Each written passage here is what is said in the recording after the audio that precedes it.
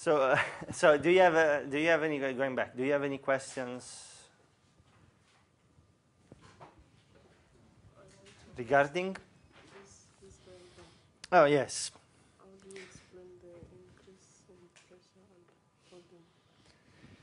So, um, so the question is about the van der Waals gas, and how do you explain what?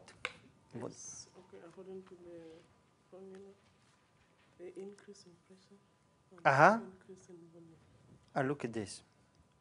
So, so actually, one of your friends has sent me a, a PDF of the contour contour plots done with Mathematica, and I I strongly suggest that you guys.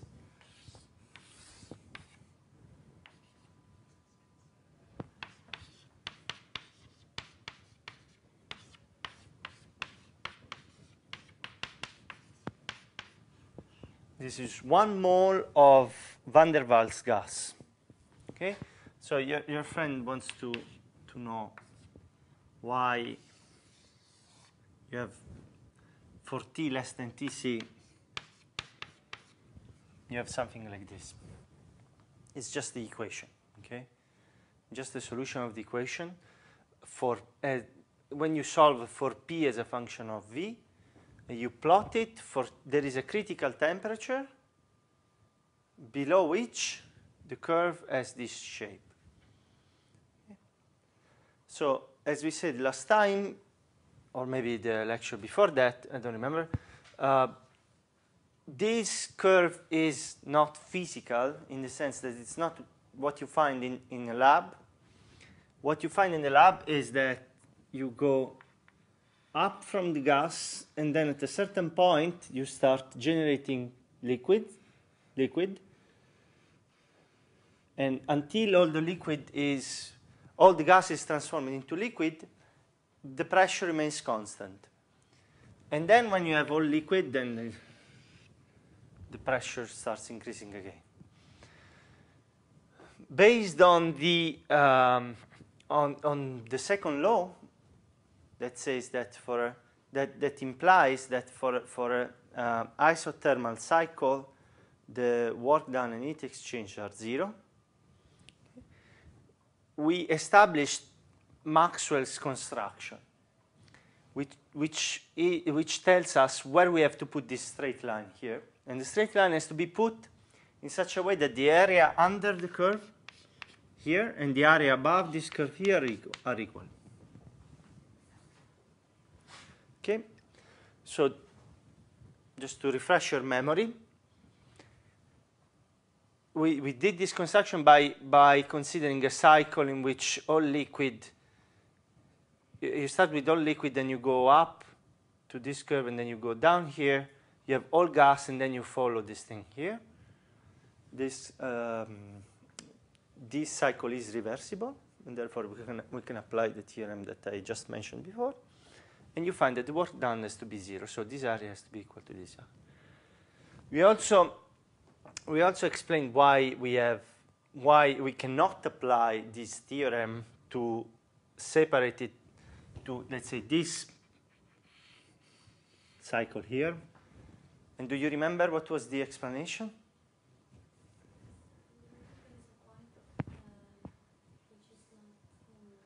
Not? In which the transformation is not? It's not reversible. There is a point at which the transformation is not reversible because you know th there has to be condensation of uh, of gas into liquid. All right. so my answer to your question is either with the computer or with pen and paper or with a, with a calculator, with one of those graphical calculators. Take this equation, solve it for p, write p equal blah, blah, blah, put t as a constant, less than tc, you have to find the value of tc. It's a function of a and b. And plot it as a function of v, and you will see that, that it has this shape here. Okay?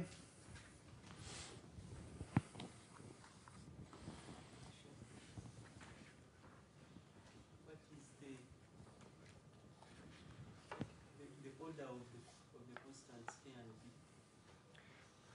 the question is what is the order of the constants, the order of magnitude, and that depends on the on the gas that you're considering, but they are not uh, they are not too big. Usually the well, okay, they are something. We, we can go in the books and find the values of A and B for one mole of uh, I don't know what CO2 or something. But uh, on the top of my mind, I don't have the uh, actual uh, numerical values of, of these constants. Also because it's not the constants which are important, but it's the critical temperature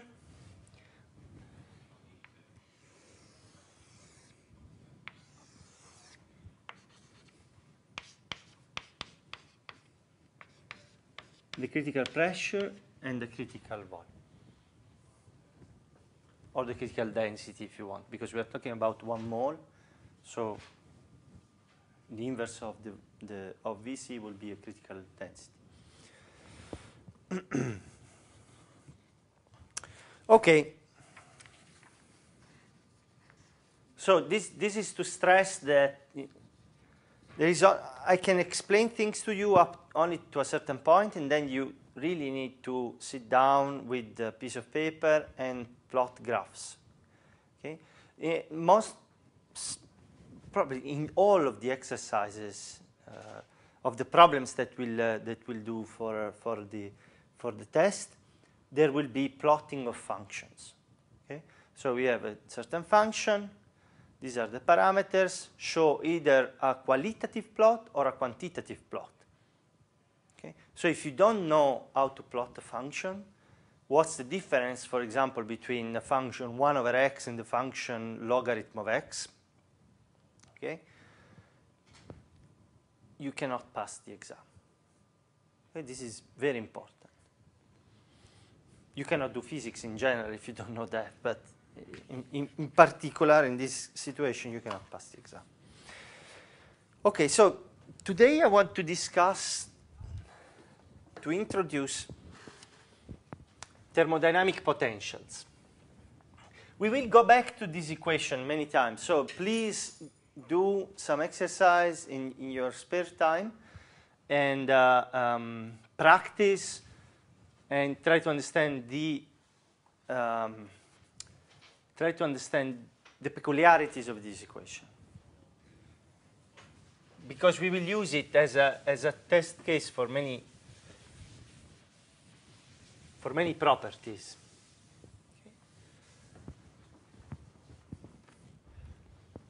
As we use the ideal gas equation for many properties to calculate work and other things, but there are, there are the, the, existence of a critical temperature and of a critical point um, here in the van der Waals gas is peculiar to the van der Waals equation. We cannot use the ideal gas equation. That's too rough an approximation. Okay, so let me remind you that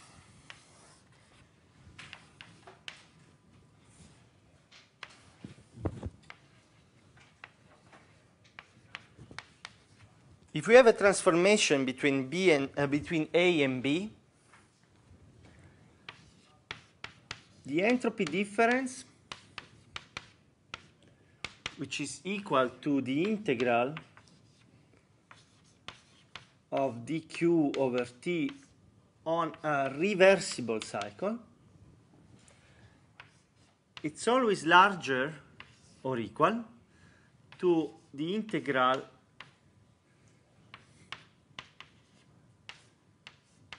on an irreversible cycle. Uh, a reversible transformation, sorry, it's not a cycle, it's transformation from A to B. Okay, so for an isolated system,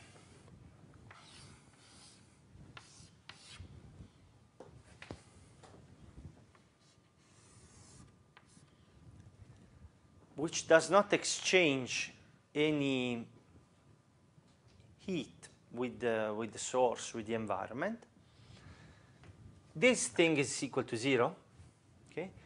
And the change in entropy is always positive.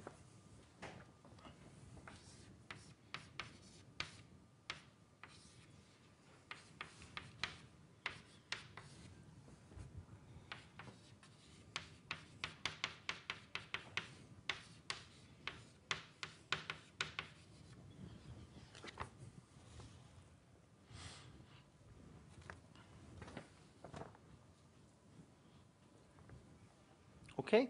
So for example,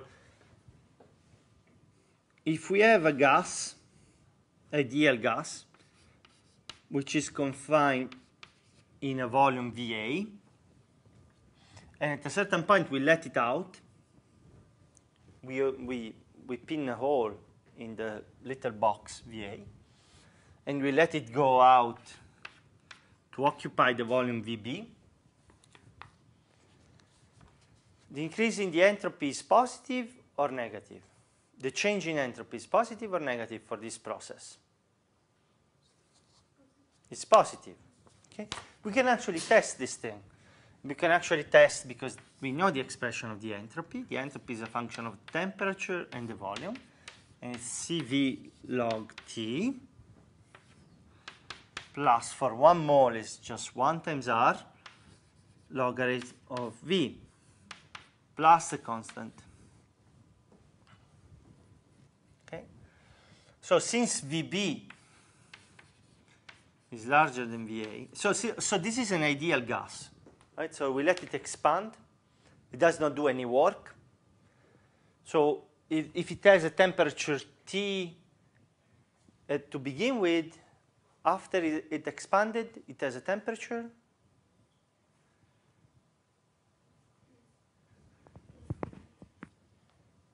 temperature decreases. Why?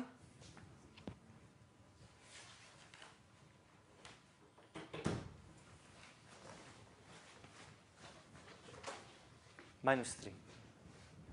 3 more to go. Why does the, the temperature go down? Do you,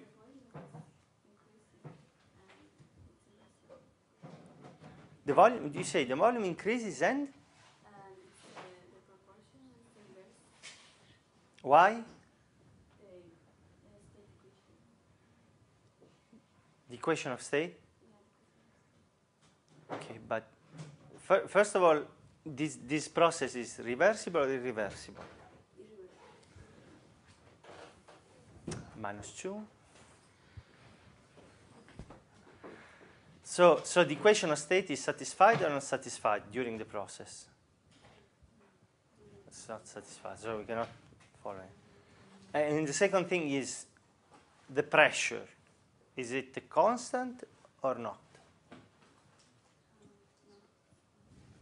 In principle, it's not a constant, right? So we can the equation of state links pressure, volume, and temperature. But if we don't know anything about the pressure, we cannot infer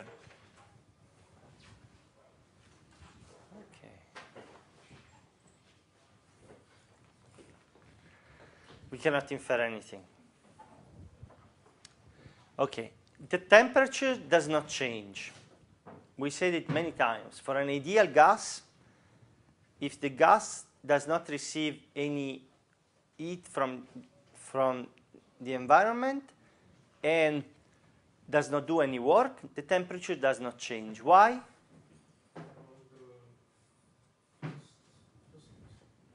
What, what does the first principle say?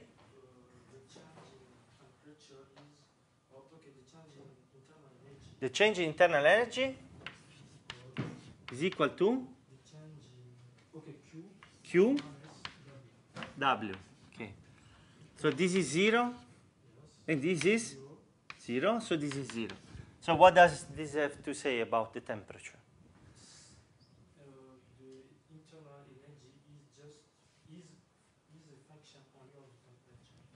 For an ideal gas. Okay? So if this does not change and it is a function of only of the temperature, in particular for an ideal gas, it's an explicit function of the temperature.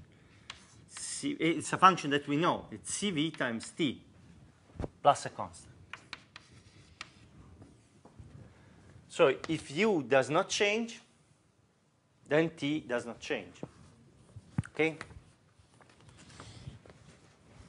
So delta S is Cv log of t divided by t, which is 1, log of 1 is 0, r log of Vb divided by Va. But since this is larger than 1, then this is larger than 0. Or ds is larger than 0. Okay? So, the second principle tells you that spontaneous transformation, transformation that do not require act, work acting on the system or uh, giving heat to the system. So in an isolated system that does not perform any work, the entropy just increases. In fact, as I said, this is supported by experiment, tons of experimental evidence, and also by the fact that nobody has ever observed gas contained in, in one room just spontaneously go and sit into a smaller volume. Okay, we always witness the, the, the opposite.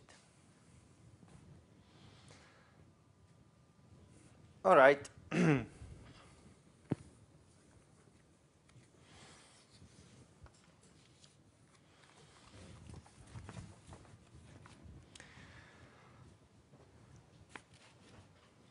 So for an isolated system, which does not perform any work, does not uh, exchange any heat with the environment, just completely isolated,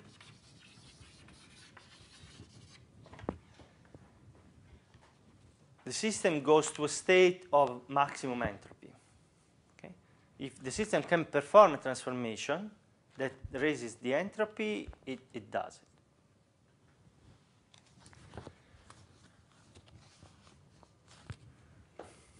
Okay, so let's keep this in mind. This is just, i I'm just repeating what I said in, in the second lecture. So, so we are now going to talk about thermodynamic potentials, as I say.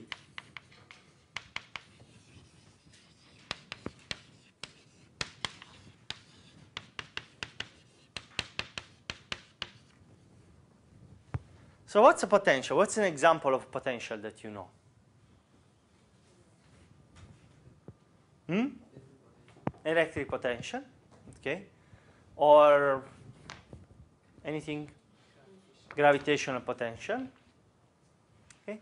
What, what do potential have in common? What's the definition of a potential? For example, gravitational potential. What's the definition?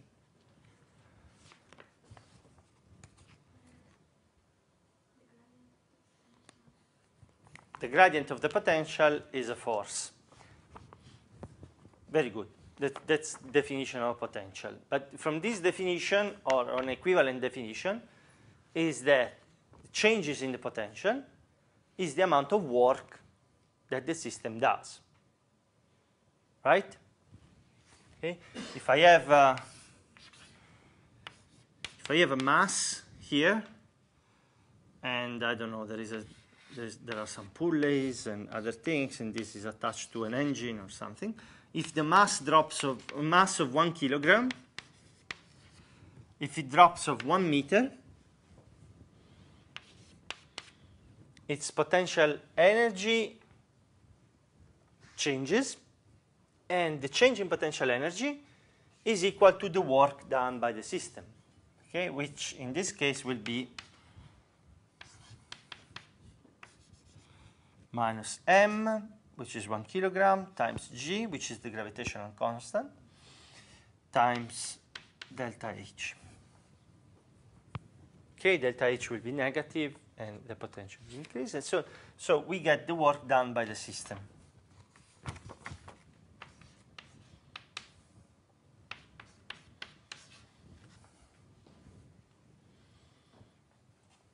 Actually, sorry. Okay, so we have some work done by, by our system. So as we, as we saw in, in thermodynamical system, there are other, sort, other ways of storing energies which are not ordered in, as, as in this case, in which you know, can, and there is just one coordinate, we can bring it up, down, we can do whatever we want. So so for a thermodynamic system, we know that the work done is minus delta U plus Q, okay? Which is the heat given to the system.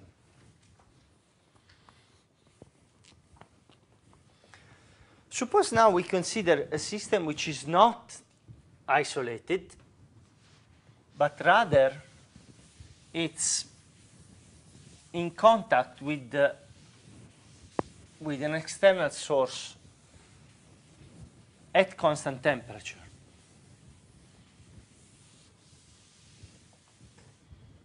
Okay?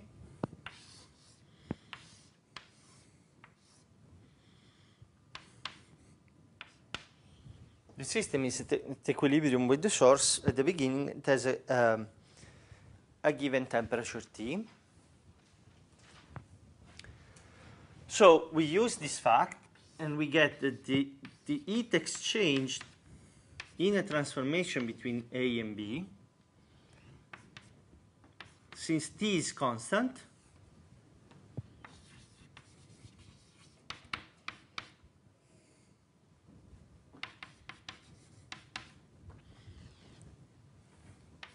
we can bring it out from the integral and this becomes delta q or q actually.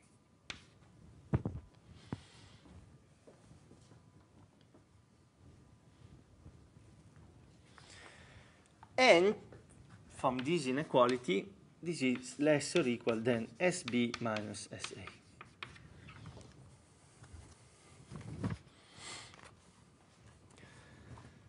the equality sign is, is only true if the process is reversible, which means that it goes through a series of equilibrium states. The increments are infinitesimal. And at every point, the, the equation of state is satisfied. Okay, so the work done is minus UB minus UA plus Q. But Q is less or equal than TSB minus SA.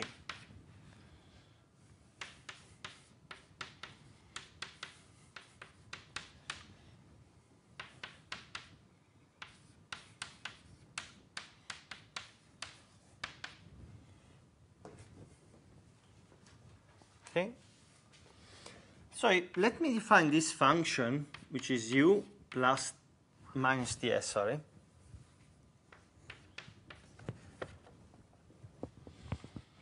And it, which is called the free energy, or Gibbs free energy, from the name of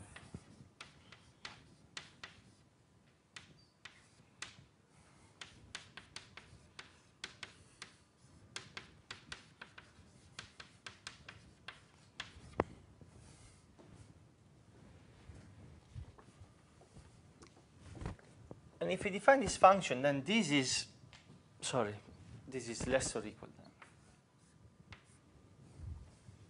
Because I've used this equation now.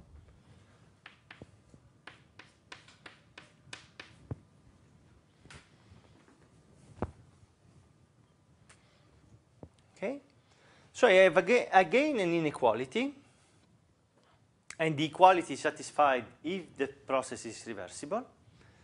And you see that the work done by our system is less or equal than minus the change in the free energy.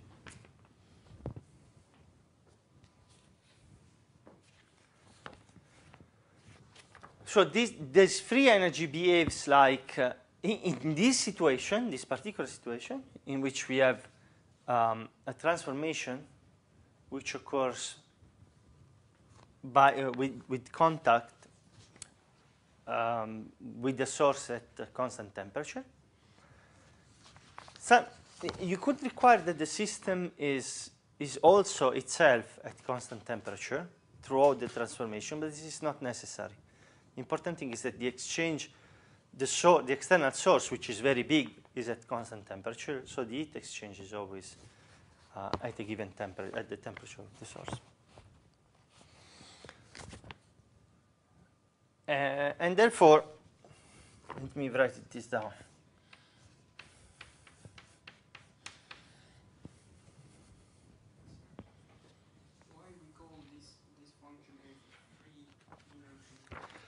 Well, because it's free in the sense that it's the energy which is available to be extracted by the system. Okay, it's not like the the potential energy. Eh, it's like the potential energy in in an in a non-thermodynamic system, in a, in a simple um, Newtonian mechanics, uh, very simple system like uh, like this. And the change in this function is it gives the, the work done, gives an upper bound to the work done by, by the system. Okay? In order to have equalities in thermodynamics, you always have to require that, that the transformation is reversible, because otherwise you can have irreversible processes that waste some resources like energy. Okay? Energy goes in a form that cannot be uh, reobtained. Okay? Yeah, there are two questions.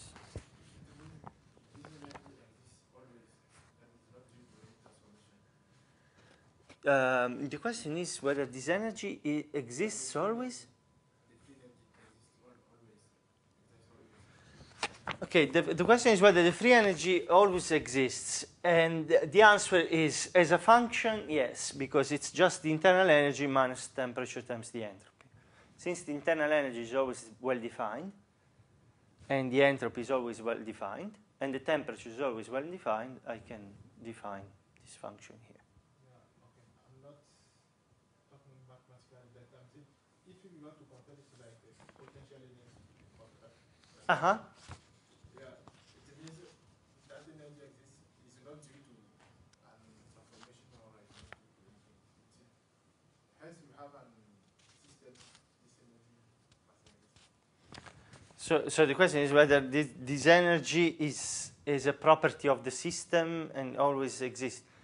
And the uh, the answer is yes. It, it describes the internal state of the system.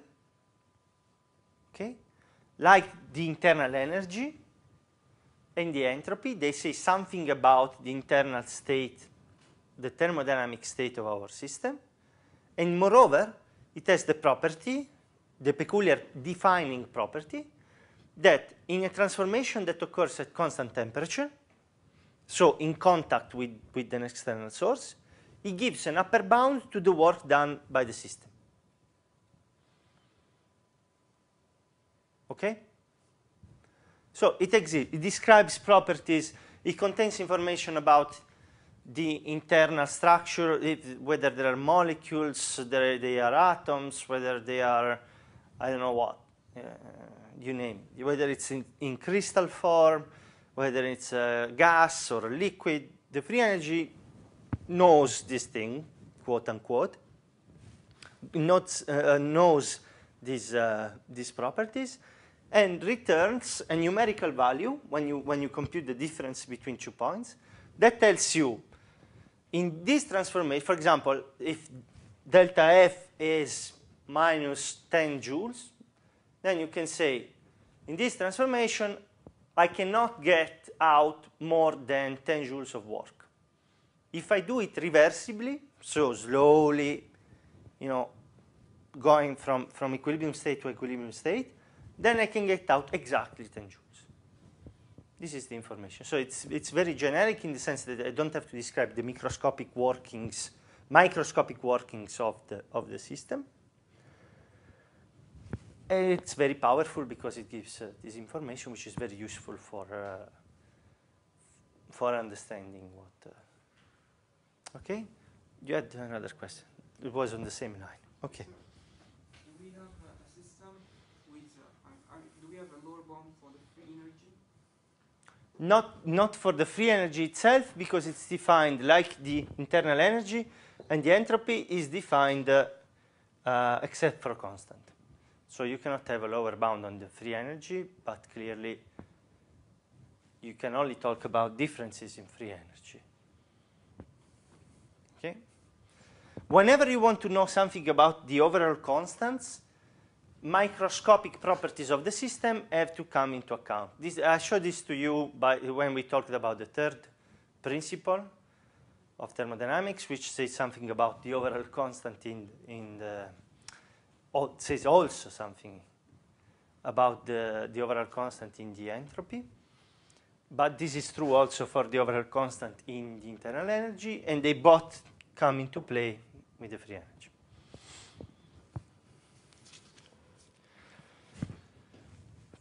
Now, following the same reason that, that told us that a, for an isolated system that performs no work,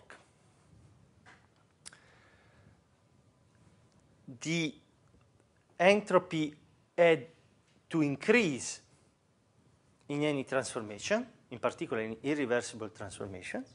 Otherwise, the equality sign is, is conserved. If we have a system which is in, in thermal contact with the, with the environment at constant temperature, but does not perform any work, then this is equal to zero.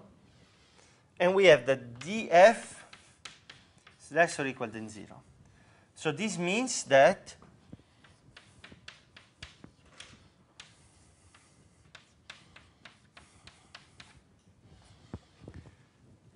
uh, sorry.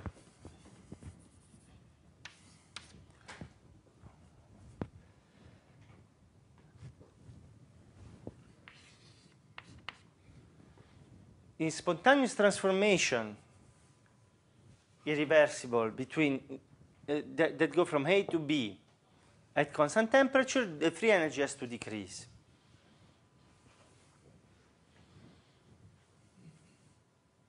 Okay?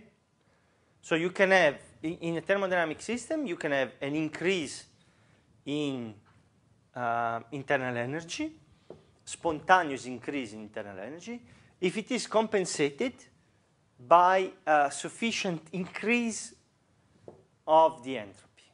Okay? Because these two terms have an opposite sign.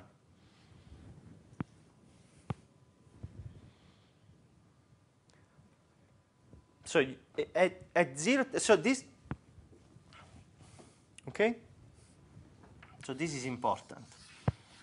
For a system which is not isolated, but it's at constant temperature, so exchanges heat with the environment, the, the correct statement is not that the entropy increases, but the free energy decreases. Okay? And in fact, this contains some, suppose we, we consider zero temperature,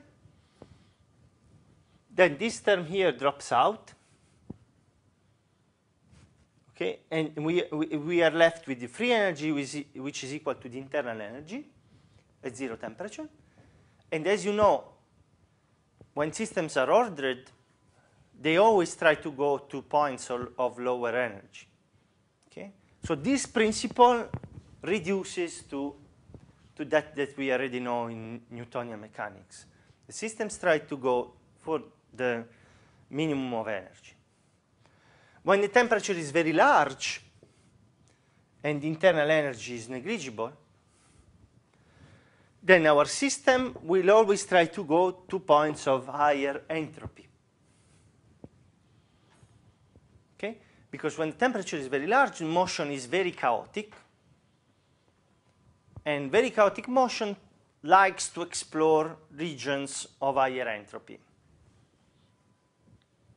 which is understandable in terms of the connection that we made between the entropy and the probability of a macroscopic state the number of microscopic, microscopic states which are compatible with macroscopic, with the given macroscopic state.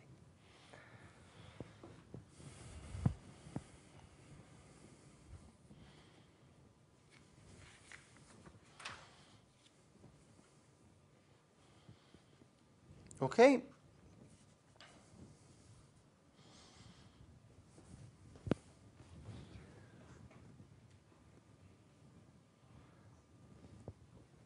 All right.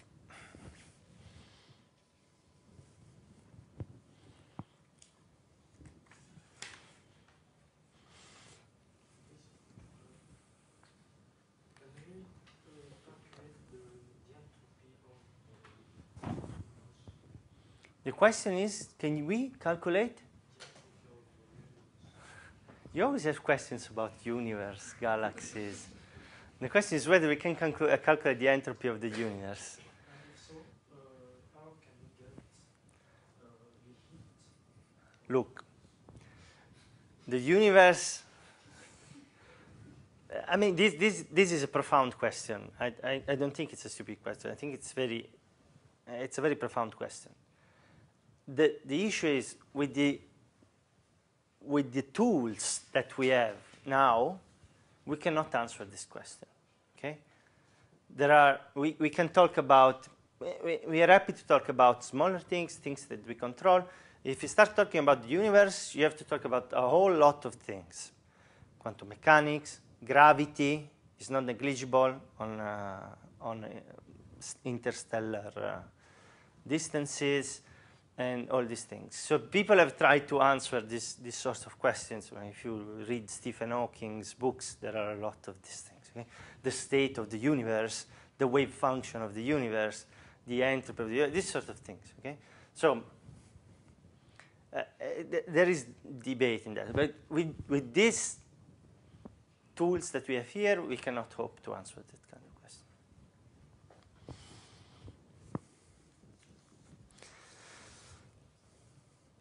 Okay. So uh, uh, uh, we can say that for the universe, the computation of uh, entropy that doesn't follow the same thermodynamics. No, it's not that the computation of the entropy for the whole universe does not follow these rules. It's that the, the, the very concept of entropy for the universe has to be treated quite carefully, right? Because one could always argue that there is one state of the universe. Why many states? It's not. Uh, so uh, one has to be careful. I don't want to enter into this discussion because it's a very, it's very slippery. Okay, might say something which is not true or was considered to be true 10 years ago is not true now. So. Can we, can we roughly uh, estimate uh, if we take our sun as a thermodynamic system and then the free energy? If, uh, if, you, if we take what, sir? Sun, sun, our sun, as a thermodynamic system, and then how much work can be extracted? I mean, the free energy. As I said, you can only measure differences of free energies. roughly, roughly. Okay, then the, okay, the difference of the, ener- the free energy. Well, people have studied what, I mean, thermonuclear reactions in the sun. These are uh, well studies, uh, well, well studied, and people know what's the, what's the work that you can extract. You have to do the, this, this sort of calculation. You have to calculate both the increment, uh, uh, decrement in internal energy, taking into, into account all possible sources, nuclear, chemical, and everything, okay? Changes of states and so on and so forth and also the uh, and also the entropy.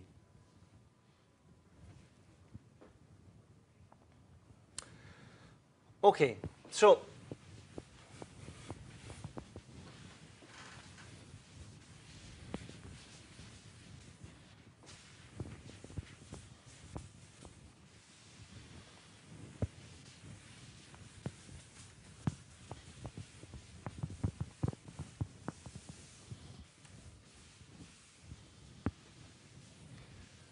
So as a general rule in physics, just to go back uh, for last time on this, this sort of question, uh, when, when Galileo started um, you know, putting down the, the, the rules to follow, okay, and when, when Newton and Galileo started talking about um, the rules to follow to do physics, okay, one of the rules was that the phenomena that, that the laws that describe the things that happen on the Earth are the same of the laws that describe things that happen on a distant planet in the stars. So the, the universal laws that we discovered by analyzing steam engines, they are valid for the sun, they are valid for galaxies, they are valid for the entire universe as a, as a whole. It's not that the laws that I'm describing are not valid. They are. They are true for the experiments we do on the sun. They are true for thermonuclear reaction on Alpha Centauri. They are valid everywhere.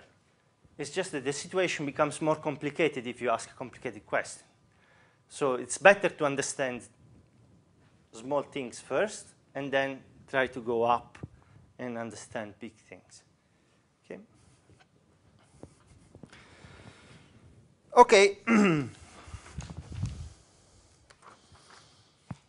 so as an application of free energy, let's consider isochord transformation.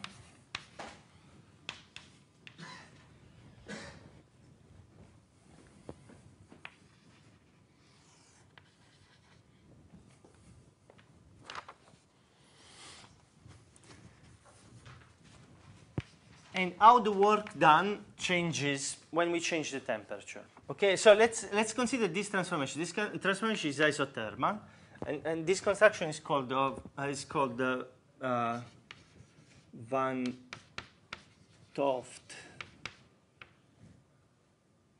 Toft isochore. Van 't Hoff.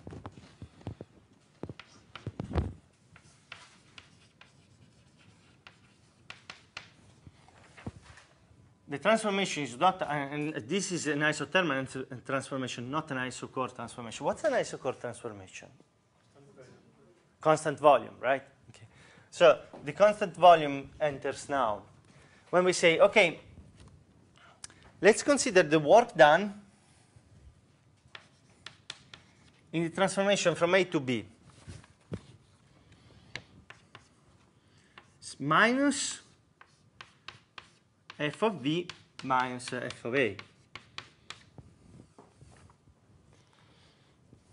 Let me call it minus delta f. The, equality sign is because the transformation is reversible. You're becoming quite fast in answering reversible. Yeah. so let's consider now two other points. A prime and B prime, okay, which are at a temperature T infinitesimally larger or smaller, depending on whatever you want delta T to be larger or smaller, to uh, A and, and B, but at the same volume. So here is uh, here is the, uh, where the isochore enters, okay, because this volume is the same. Okay, so L A prime B prime is equal to minus f of B prime minus f of A prime. And we want to look at the infinitesimal change.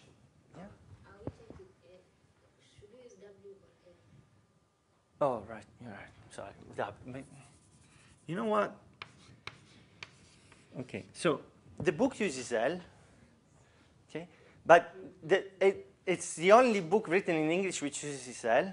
And you know why? Because Fermi used L at the blackboard. In the he arrived in the States in 1934. These lectures are 1936. And uh, L is the is, work in Italian is lavoro. Okay?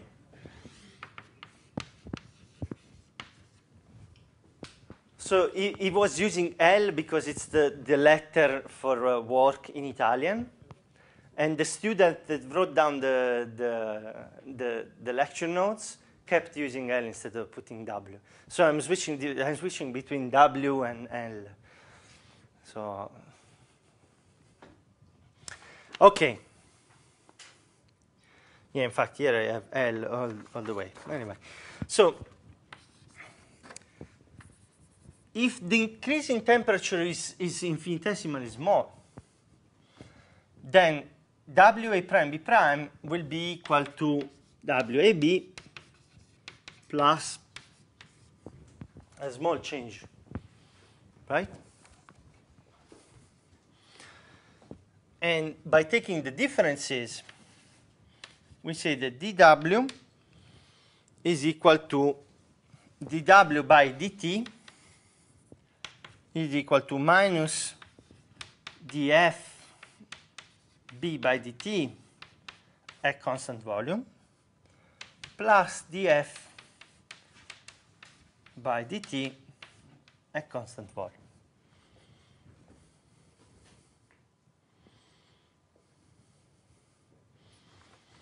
But df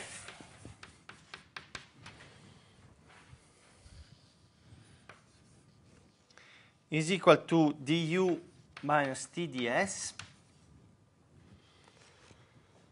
Sorry, let's, let's do this. So ds is d of u minus ts. So it's du minus t ds minus s dt. Differentials have exactly the same properties as, uh, as derivatives. When I take the differential of a product, is the sum of the differential of one term times the other, plus the, the, the one in which we exchange the two terms. Okay, so here I'm looking at the change in free energy between B and B prime. So that's why constant volume, because I defined B prime as being the point B with the same volume and just slightly higher temperature.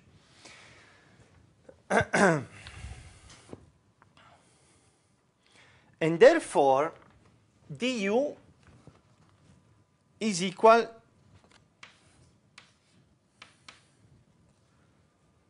if there is no volume change, there is no work. If there is no work, then du is equal to to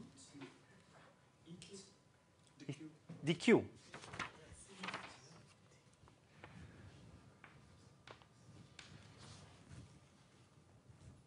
Very good. Which is TDS. Okay, so this term and this term just drop out. And df is equal to minus s dt.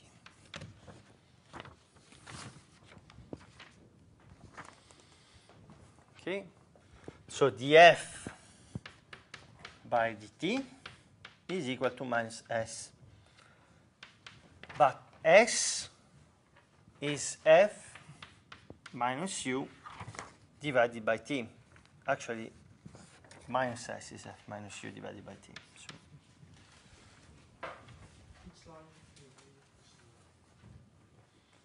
what? Both, for both. They are both isochore transformation. So both for df of a by dt, we get f minus u divided by t. And for df of b by dt, we get the same thing. So,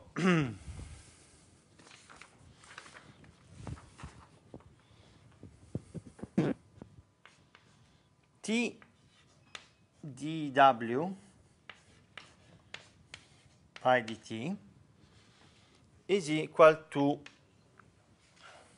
minus f of b minus u of b plus f of a minus u of a which is, let me write it like this, L plus du. Okay? W plus du.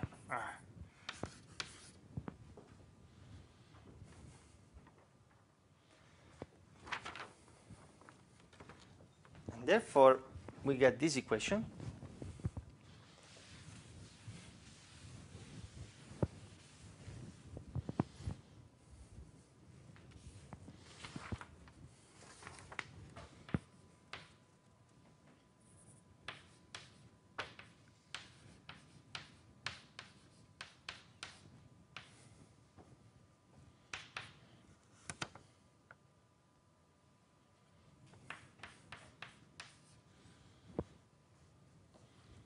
The work done on a transformation satisfies that differential equation, which links it to the energy change between between the, the initial and final point of the transformation. This is true for any transformation.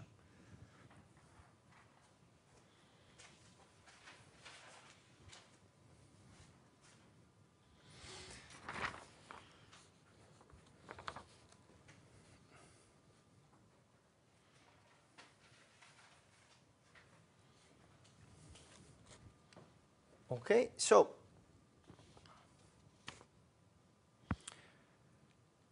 for example, let's make an example.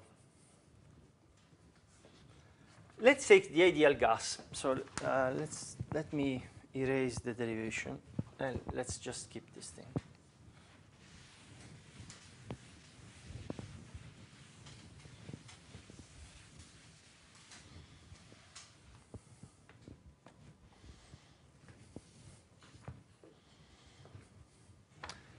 Okay, so on a isothermal transformation, the change in internal energy is zero, right? So for, for the ideal gas,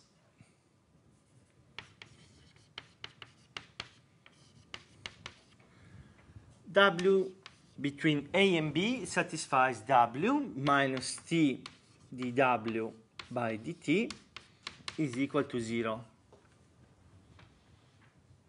Okay? What's the solution of this equation?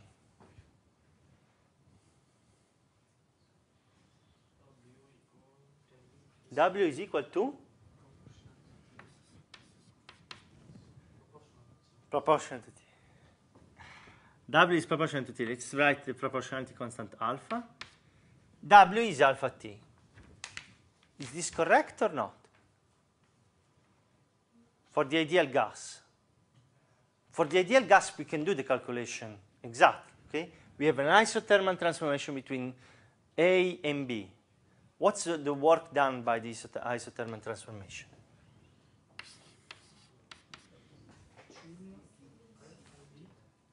What? Yes. Yeah, but what's the proportionality constant? CV?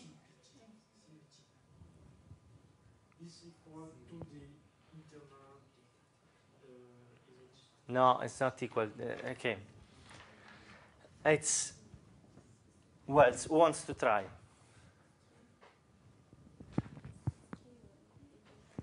It's equal to Q, but I want an explicit expression in terms of the VA and VB and T. R log of VB over VA, and there is also T. Okay. So from this isochore transformation, and as an application of the free energy, we, we see that we can immediately say immediately say that W is to be proportional to T. But the proportionality constant we don't we cannot get it because we are doing transformation constant volume. So this constant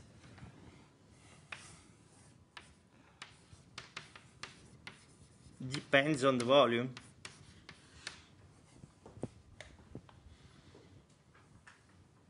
But the important thing that we can say is that for an ideal gas, without doing any calculation, integral P dV, blah, blah, we don't know anything, the, uh, we, can, we can say that the work is proportional to the temperature. Okay? What about the van der Waals gas?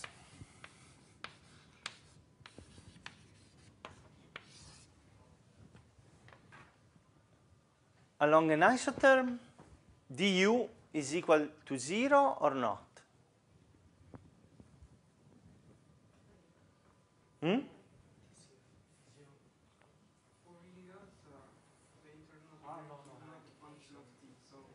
It's not only a function of t, right? So du, u is a function of t and v, and it's a function uh, on, let's say, one function of t, which does not depend on the volume, and we say on, based, based on van der Waals gas equation of state, we cannot determine what this constant is. But there is a term. Let me get the sign correct. Okay.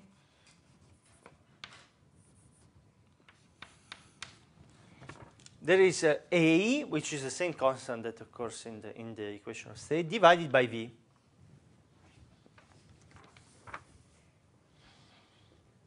So du on an isothermal transformation is 0 because this thing does not depend on the volume, depends only on the temperature, and the temperature is constant. But then we have minus A, 1 divided by VB, minus 1 divided by VA. So it's not 0. So in this equation,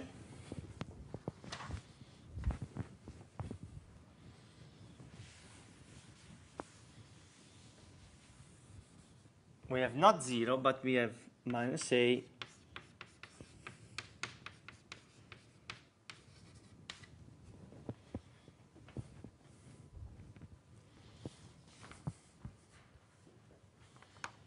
Okay? Now, what's the solution of this equation now?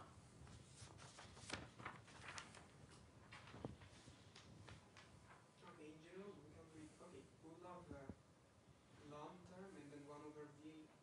I mean, in, in principle, we have to reduce the solution of this thing when we set a is equal 0 to the ideal one. So Mhm. we have to see something like that looks like the ideal one. So I, I suppose there will be line, okay, t 1 over v minus a something. But in principle, we can solve it. I mean, the homogeneous one will have the quantity. Okay, that's correct. This, this one is particularly simple though, because this constant here does not depend on the temperature. So the solution is particularly simple, is something proportional to the temperature, a constant that we cannot, uh, minus A 1 over VA VB. Okay, this depends on the volume, but not on the temperature, this is constant. And this depends on the volume, but not on the temperature. And in fact,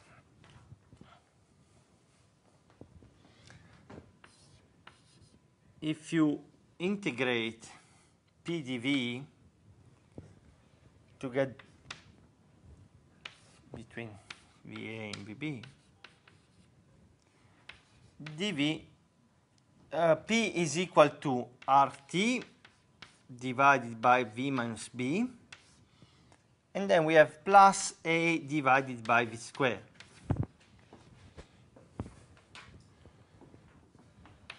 So we get RT log of VB minus B divided by VA minus B. And then we have minus A 1 divided by VA.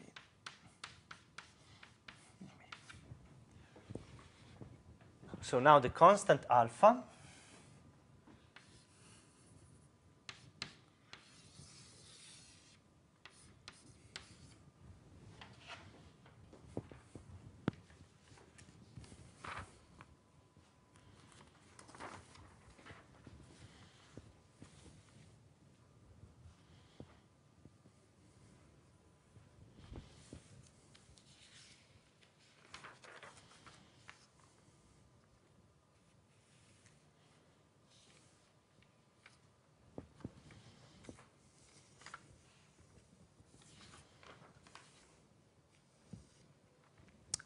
Okay?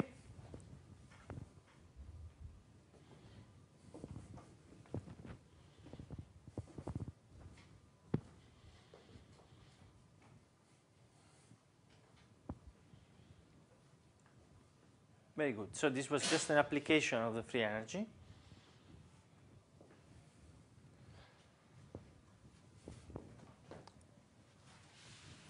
Let's look at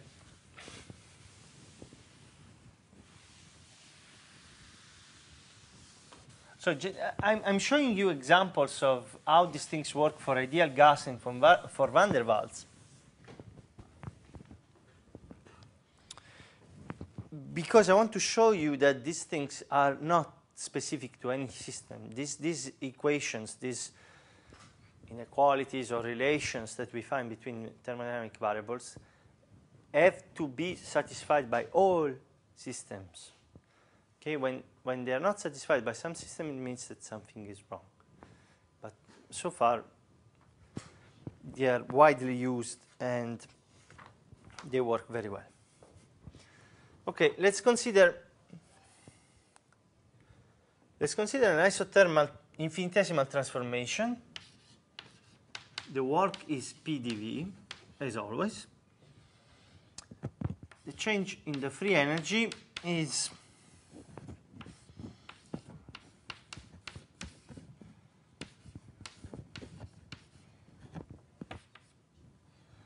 isothermal.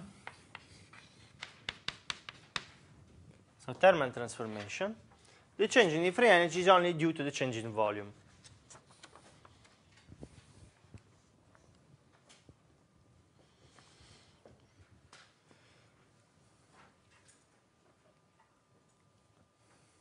Okay, so as the work done is equal to minus du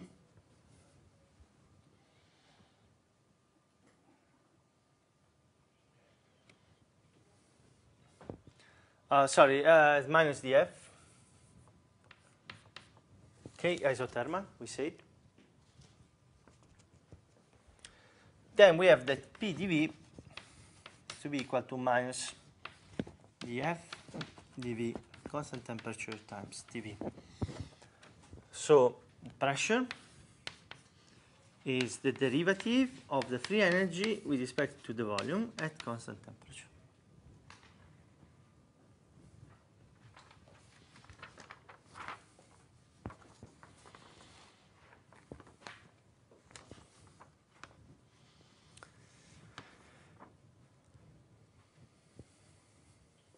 Okay, so for example, again, for an ideal gas,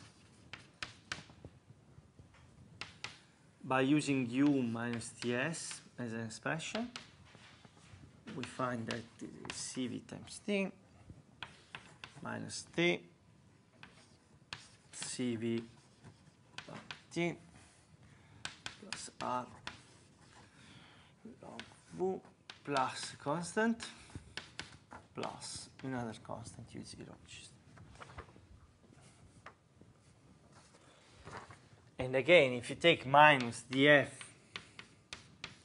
by dv constant temperature, you find dr over v, and we say that this is the pressure. And so we recover the equation of state of an ideal gas.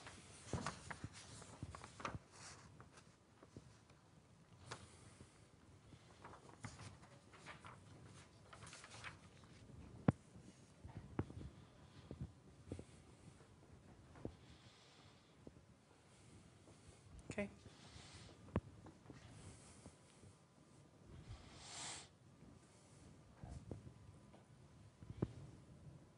So let, let me show you actually this. So, so if f is u minus ds, df is du minus t ds minus s dt. Uh, du is for a gas or for you know for, for, for a system which has a PV phase diagram is PdV minus TDS um, oh sorry plus TDS minus PdV minus TDS minus SDT. So you see, if I only look at the internal energy, it's like the independent variables, the x and y, are volume and entropy. Okay. So I'd say the natural variables in which to express the changes of internal energy are volume and entropy. So, but if I now add this Ts and I take the differential, you see that now this goes away, and now the, the relevant, the natural variables in which to express changes of this new function, which is a free energy, are volume and temperature, which are more natural, if you want. So this is an example of something which is called Legendre transform.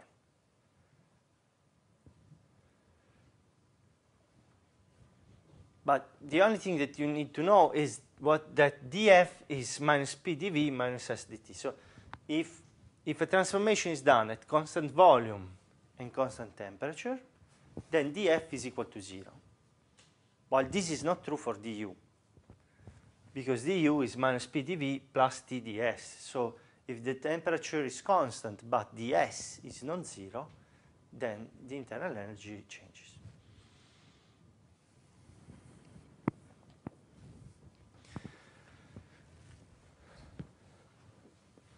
So we could do the same game, but now consider systems which are at constant. Uh, is this clear? I mean, this calculation is very simple. It's, um, it's just the cancellation which is enlightening and shows that we're actually going from SV plane to a TV plane.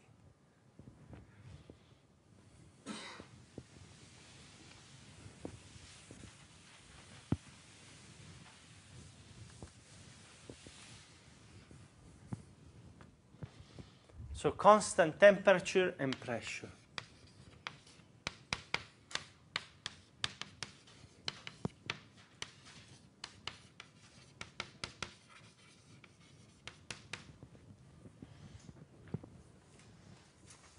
It's getting more and more difficult. More and more things constant. So we say that the work done is limited by minus the change in the free energy. But for constant pressure, the work done is P dV. These are now not infinitesimal differential. These are finite differences. If the pressure is constant, I can write this as the difference of PV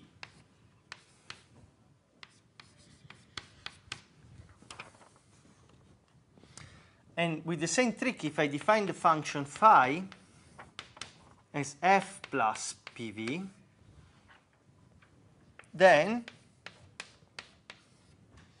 d phi is less or equal than 0.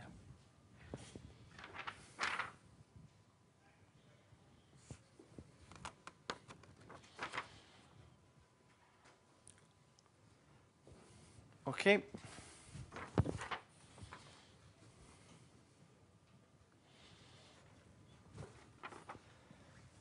So this thermodynamic potential has to decrease for transformations that occur not at constant volume, like free energy, because we said if the system does not do any work, so constant volume, and it's a constant energy, then the free energy has to decrease. If we do not impose that the volume is constant, but rather that the pressure is constant, which is natural in many set settings. Uh, for example, when we talk about uh, solids or liquids, it's very difficult to keep the volume constant because the compressibility of a, of a solid is very, is very small. So you have to apply a large force. So it's better to talk about uh, constant pressure.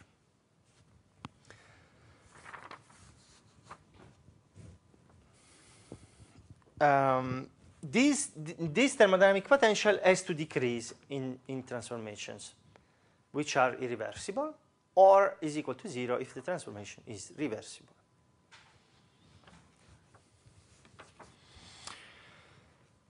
This is sometimes called also enthalpy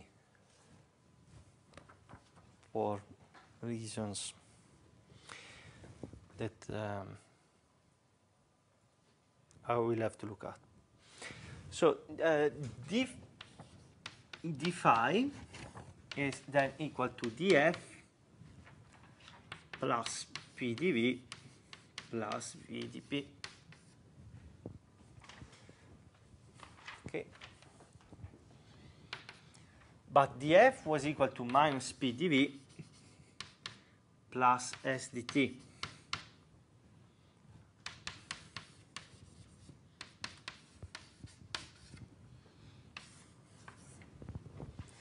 So you see that d phi is is proportional to is proportional to a differential of t and the differential of p, showing that the natural variables in which phi is defined are t and p. And in fact, when t does not change and p does not change, phi does not change.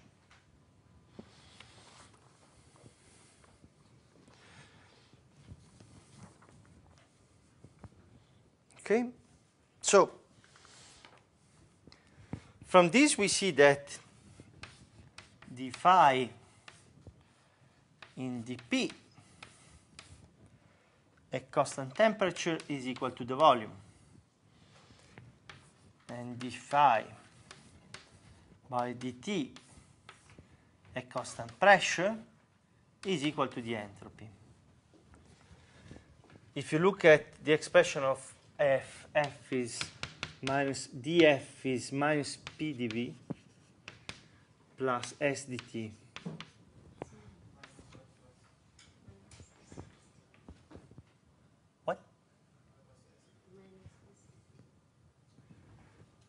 Uh, minus SDT, you sure?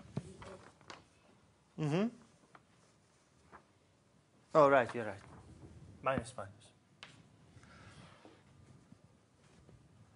Okay, so so we had that df in dv at constant t is equal to minus p, and df dt and constant v is equal to s.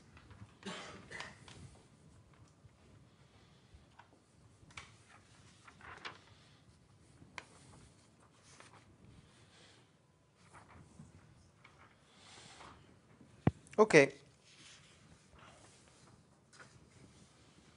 So as an exercise for you,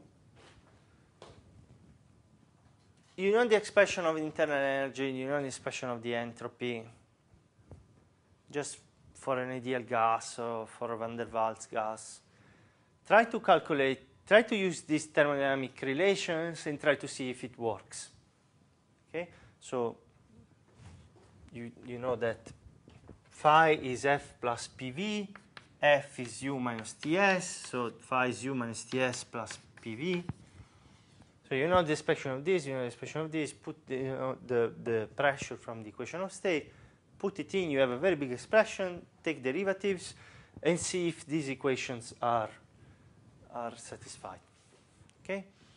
In this way, in this way you, you learn a little bit how to do this, uh, these compu computations, and you, you, um, you, you do some exercise, which is always good. Okay, now I should start talking about uh, start talking about um, different phases, but uh, and the equilibrium between phases. But I will do it. Uh, I will do it tomorrow. Okay. Yes, should